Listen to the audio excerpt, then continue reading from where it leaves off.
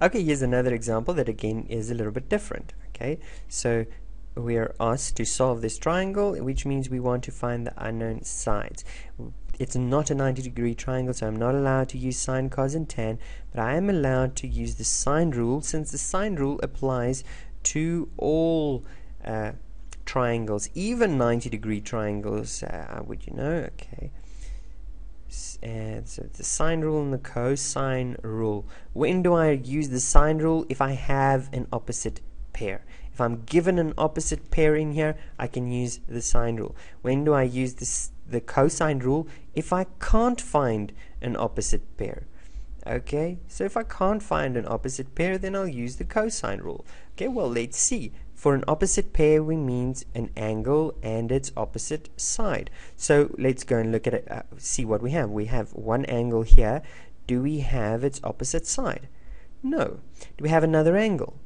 No, we don't have another angle. If we had another angle, we could find all three angles and then we could always. So if I have two angles, if I have two angles, I can always find the third angle.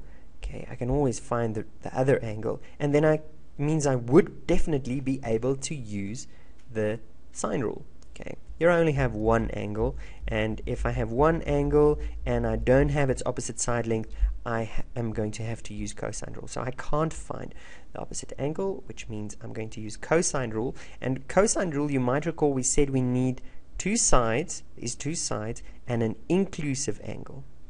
And then we can use this formula, b squared, well in this case we're trying to calculate c. So we're going to take c squared is equal to a squared plus b squared minus 2ab cos of capital B. Okay, uh, sorry, not capital B, capital C. Very important.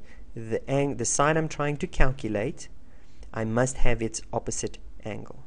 Okay, obviously it would be uh, the information that I have if, if I can't find an opposite pair.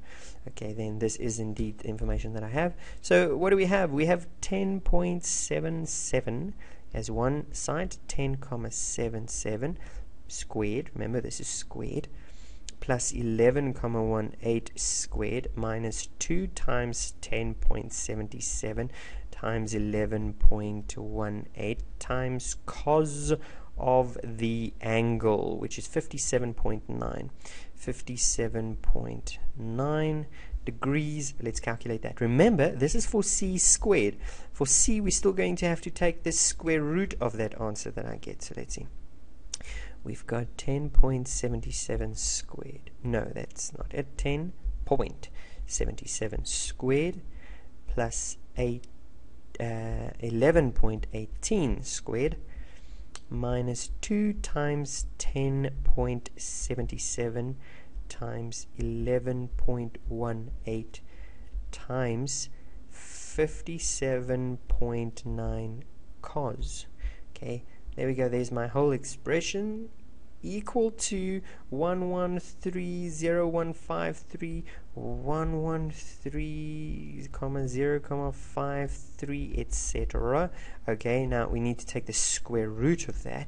So from this answer I take the square root and it's 10.63 I get 10.63 3 that is the length that I have here 10 comma 63 now you see the moment I did this I actually calculate I found myself an opposite pair. I've calculated an opposite pair. And since I have my opposite pair now for all of the rest I am going to use my sine rule. Now, again, I only need to use the sine rule to calculate one other angle because the other one I can just find by subtracting these two from 180. So it doesn't matter which one. Let's go for B. Okay, so we can say, okay, sine. What are we trying to calculate? We're trying to calculate an angle. So make sure that sine of your angle is in the numerator. If we were trying to uh, calculate a side length, we would have said uh, like this. We should have put, would have done it like that. Okay, it would just be simpler with the simplification. Okay, so sine B is equal to sine, we are using the C pairs. Okay, sine of C over C, and when we substitute it's the angle we're looking for sine of b is equal to now I'm just multiplying the b on both sides so I'm just writing it out already so sine of b would be equal to sine of angle c which is 57.9 okay divided by side length c is what I calculated. Let's just make sure that I round off correctly. Yes 10.63 10.63 times b, the side length b is that eh, e 10.77. 10.77 and remember this is what I get for sine of b. That's not the angle b. That's what I get for sine of b. Remember sine will always be less than 1 and greater than negative 1 so it would be some fraction. So it won't even make sense as an angle. So we get 50 well 57.9 sine of that divided by 10.63 is equal to that times 10.77 is equal to 0, 0.858 blah blah blah 0, 0.858 blah blah blah. So how do I calculate angle B? Okay now usually we used to solve these type of equations using um, the general uh, um, solution but in these cases we can always just use arctan okay. Since the general solution uh, well maybe not always. Sometimes we have to if it's a uh, actually know, I shouldn't have said that. Okay if if it's my angle is greater than 180 degrees with sine uh, sorry 90 degrees with sine I might have to then calculate um, uh, the alternate okay we might get a negative answer and we must then say okay well that that would be this angle there and then calculate that. But let's look at some examples a little bit later on.